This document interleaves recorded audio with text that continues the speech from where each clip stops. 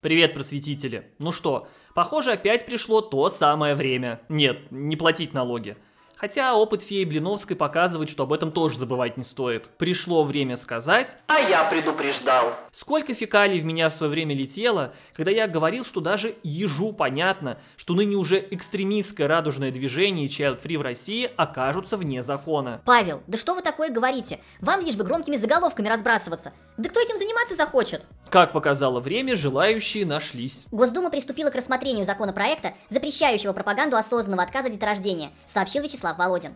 Накануне стало известно, что правительственная комиссия по законопроектной деятельности поддержала инициативу, автором которой выступает депутат от «Единой России» Эльвира Айткулова. Если вы сейчас по какой-то причине удивлены, то я могу только позавидовать тому уютному информационному пузырю, в котором вы до этого момента находились. Поделитесь секретом а то мой еще несколько лет назад лопнул. Понятно, что подобный законопроект это всего лишь еще одно звено в цепи бесконечных высказываний и предложений, направленных на повышение рождаемости. Слышали мы их в последнее время немало, Создается впечатление, что это в принципе какой-то флешмоб. И женское образование мы осуждали, и на желание молодежи сначала построить карьеру косо смотрели, даже про сосцы высказались. Вспомни, Боже, людей, которые в браке живут, а утроба у них пустая, а сосцы у них не кормившие. Что женщине дана утроба, чтобы рожать, и грудь дана, чтобы кормить.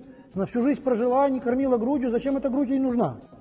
Лучше бы ты была мальчиком. Идея саморазвития и кошечки с собачками тоже под раздачу попали. Идеи бездетности, нетрадиционных отношений, замены традиционных семейных ценностей потребительством, саморазвитием, кошечками и собачками должны исчезнуть из информационного поля на всех уровнях.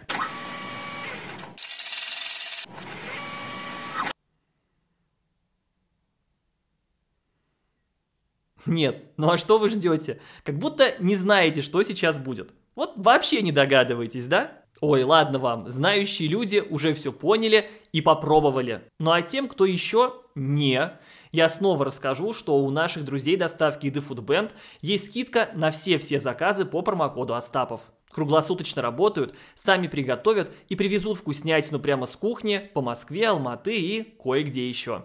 Скидка многоразовая, хоть каждый день пробую разное. Чем больше заказ, тем больше скидка. В меню Foodband много пиццы из печи. Есть и простые варианты с колбасой или с грибами, есть и изысканные, как на свидании в итальянском ресторане. Выбор за вами. Если не едите тесто, возьмите покеболы с лососем или креветками, стильно и сытно. Или же берем большой сет разных роллов с рыбой и морепродуктами. А есть и горячие блюда фудбенд, лапша вок с курочкой и другие блюда со сковородки. Вот две, по моему мнению, самые красивые пиццы с пармской ветчиной и грушей. В свое время с удовольствием пробовал их.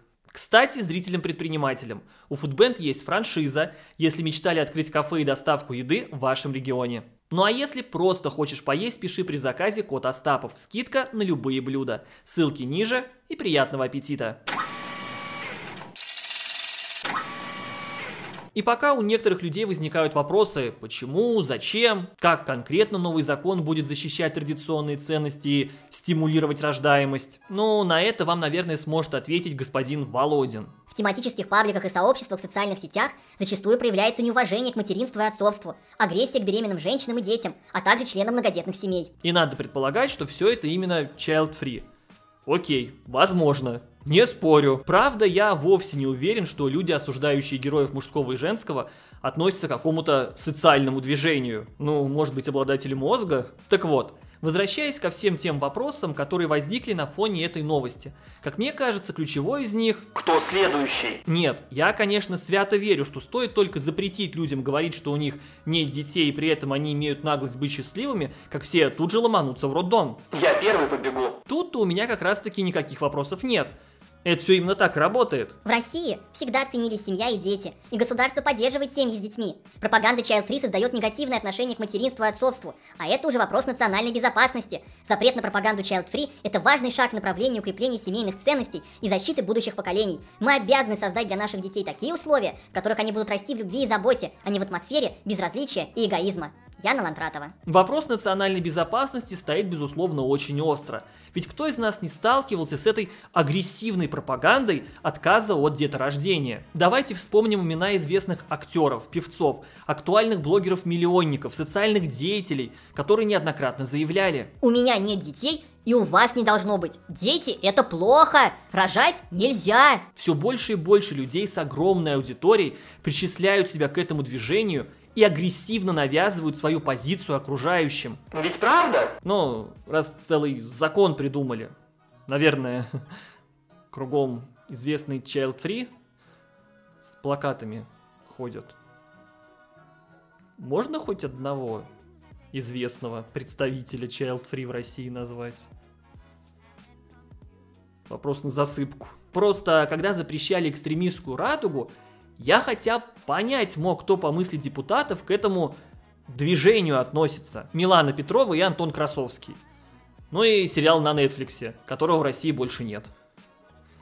Милан Петровой в России тоже больше нет. А вот Антон Красовский все еще есть. Здесь же я вообще без понятия, кто в нашей стране эти идеи продвигает. Вы хоть скажите, куда зайти надо, чтобы почитать? Ну так, для общего развития. Я для друга интересуюсь. У меня вопрос очень простой. Действительно ли в общественной среде, интернет-среде, мощность этого движения такова, что это оказывает влияние на состояние умов в обществе? Я в этом не уверен. Сами по себе идеи Child 3, конечно, вредны, но я не уверен, насколько они сильны здесь, в России. Если они слабы, то зачем огород городить? Если они сильны, это требует доказательств со стороны депутатов. Это можно поддержать. Заявил глава Совета по президенте России по развитию гражданского общества и правам человека Фадеев. Если что, это тот самый Фадеев, который буквально пару недель назад заявил, что каждый мужчина обязан служить, даже если имеет хронические заболевания. Пусть отправляется на кухню, или писарем. Вот такие у нас права человека. Так что данного товарища сложно в либерализме обвинить, но ему вся эта ситуация с Child Free тоже не особо ясна. На РБК вышла замечательная статья с комментариями юристов. И сюрприз-сюрприз, формулировки нового законопроекта настолько размытые, что достаться потенциально может практически каждому. Такой закон оставили российских сериалов и реклам с упоминаниями семейных отношений два сюжета. Семьи с детьми обязательно счастливы, а семьи без детей обязательно утопают в горе по этому поводу. Вероятно, пропагандой будет признаваться все, что публично относит бездетность к социально приемлемому поведению. Заявив, что к появлению ребенка нужно относиться ответственно, а не просто слепо надеяться на лужайку, а кто-нибудь в этом пропаганду увидит. Вот, кстати, еще одно мнение юриста. Усмотреть пропаганду можно будет в любом посте женщины старше 25 лет, хоть раз упомянувшей отсутствие у нее детей в позитивном контексте. И в особенности в случае упоминания ею отсутствия намерения их заводить. Я, конечно, не женщина, но тем не менее со всей ответственностью хочу заявить, что я очень страдаю от отсутствия детей. Моя жизнь это непрекращающаяся пытка. Сразу же после того, как сниму это видео, пойду демографию повышать. Видите? Я стараюсь. Видео с моими попытками ищите на другом сайте. Кринж. Реклама и продажа контрацептивов прямо может наводить на мысль о нежелании зачатия. Информирование женщины о ее законном праве прерывать беременность и сохранение абортов в ОМС – риски для медицинских работников и организаций. Работа отелей, клубов или ресторанов с ограничением на присутствие детей – явно создание привилегий для тех, кто выбирает бездетность. А я, кстати, несколько раз отдыхал в отеле 16+. Да и 18+. Пропаганда! Если что, я до сих пор сожалею о своем выборе. Это был самый ужасный отдых в моей жизни. Возвращаюсь к своему вопросу. Когда угроза Child Free будет ликвидирована? Я, естественно, двумя руками за это. Как-никак угроза национальной безопасности. Кто следующий попадет под раздачу? Когда абсолютно неожиданно окажется, что 3,5 еле живых паблика ВК не то чтобы особо сильно на демографию влияют. В начале сентября появилось интересное исследование Высшей школы экономики, в котором говорилось о тех причинах, которые заставляют людей отказываться от появления ребенка. Естественно, агрессивная пропаганда Child Free оказалась на первом месте. Но Практически. Наиболее распространенной группой причин для того, чтобы отложить на время рождения ребенка или вовсе отказаться от таких планов является внешняя среда, сложная экономическая и политическая обстановка в стране и в мире. Причины из этой группы упоминали около 45% респондентов. Кто бы мог подумать? Но явно не я так как все еще считаю, что во всем виновата пропаганда. Немного меньший вклад, около 30%. В такое решение внесли финансовые причины. Столько же респондентов ссылались на специальную военную операцию, как на причину изменения своих планов по рождению детей. Как вы понимаете, ни одна из этих причин в ближайшее время э, никуда исчезать не планирует. У нас тут на днях снова о ядерном оружии заговорили я в любой момент могу потерять свою работу. Рекламу можно размещать только на отечественных площадках. Бросайте все и отправляйтесь на Рутуб, где у вас ноль просмотров и ноль подписчиков. Дзынь! Но я срочно должен ребенка заводить, потому что злые Child Free теперь не смогут свою тлетворную идеологию распространять. А значит, бояться мне больше нечего. Внешняя и внутренняя политика. Вообще непонятно, что завтра будет. Нехватка денег, СВО. Вот что волнует людей, по данным исследования. Если что, мой голос все еще за пропаганду. Ну и не стоит забывать, что мы все же живем в несколько иных условиях, нежели страны Центральной Африки. И поэтому даже если бы те три проблемы каким-то магическим образом испарились, семеро детей в каждом доме вряд ли бы появились. Развитое общество, небольшое количество детей. Ну, хотя бы потому, что просто накормить плошкой риса уже не считается достаточным. Возьмем ту же Японию. В государстве дикий демографический кризис, а страну бедной явно не назовешь. Просто ко всему этому, второму демографическому переходу, накладываются еще и все те проблемы, о которых сегодня уже было сказано. И это еще дальше откладывает появление ребенка. Вот и приходится нашим законотворцам придумывать все новые и новые инициативы. И здесь первое место за последнее время, как мне кажется, занимает Татьяна Будская. Да, друзья, она снова вернулась. Триумфально. Чтобы вы оценили всю гениальность инициативы, я предлагаю вам немножко пофантазировать. Я наконец-то прислушиваюсь к комментаторам и начинаю заниматься нормальным делом а не вот этим вот всем. Открываю интернет-школу русского языка. Русский язык со стоповым. Нанимаю классных специалистов. Тут и подготовка к ЕГЭ, русский как иностранный, функциональная грамотность. Полный фарш. И вот как вы думаете, что я как руководитель должен делать в первую очередь? Держите, пожалуйста, в голове, что фирма российская. Следить за тем, чтобы клиенты были довольны?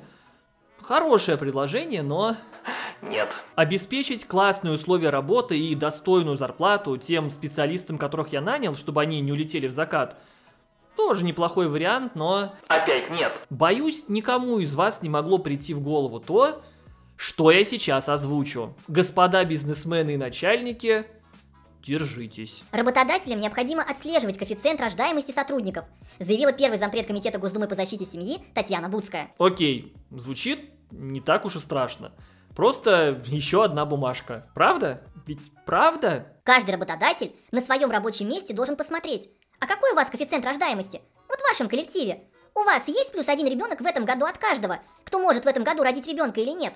Именно так мы должны ставить этот вопрос. Татьяна, если вы вот так должны поставить вопрос, то я другой вынужден поставить. А как моя фирма должна функционировать, если в этом вашем идеальном мире бизнеса каждый работник, который может родить, должен по плюс одному ребенку в год приносить. А кто тогда работать будет? А, только мужчины. Вернемся к моей замечательной школе. Филологи это чаще всего женщины. Поэтому если каждый работник уйдет в декрет, то работать останусь я и айтишник Вася, который мне сайт сделал. Нет, вы просто вдумайтесь. Работодатель должен стремиться к тому, чтобы его работник в декрет ушел.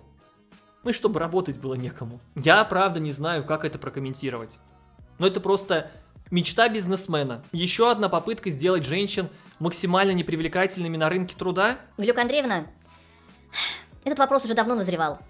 У вас отличные показатели, стубальники. Не поймите меня неправильно. Но выражать когда будете? Вы понимаете, что плюс один ребенок от каждого. Сроки горят. Что я в отчете напишу? Тут возникает, правда, еще один вопрос.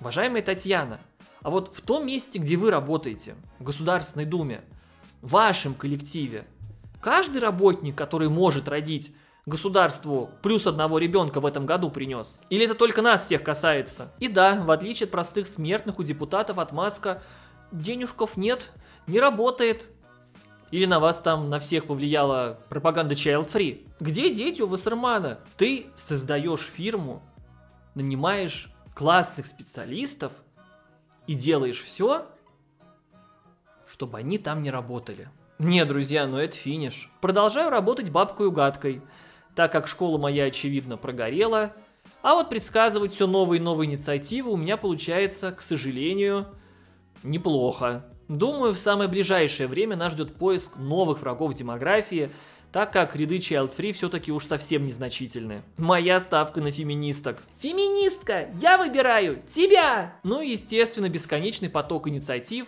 разной степени адекватности в качестве бонуса. Что могу сказать в конце? Рожайте, друзья, рожайте. Ну и почисти соцсети. Друзья, если вам понравилось это видео, обязательно поставьте лайк, это очень поможет. Кроме того, не забывайте про мой телеграм, там интересные все новости образования появляются гораздо быстрее. Если вы готовы поддержать мою деятельность, то переходите по ссылке в описании на мою страничку Boost или Patreon, там все ролики выходят раньше, без рекламы и доступен эксклюзивный контент. Все записи моих стримов именно там. Кстати, сейчас на экранах вы видите имена самых топовых товарищей, которые поддерживают меня на этих платформах. Огромное им спасибо. Ну и отдельная гигантская благодарность отправляется министру просвещения моей странички Бусти. Большое спасибо за поддержку, я ее очень ценю. Ну а с вами я встречусь уже на следующей неделе, в понедельник, в 17.00 по Москве в моем новом видео. Всем хорошего дня и до встречи.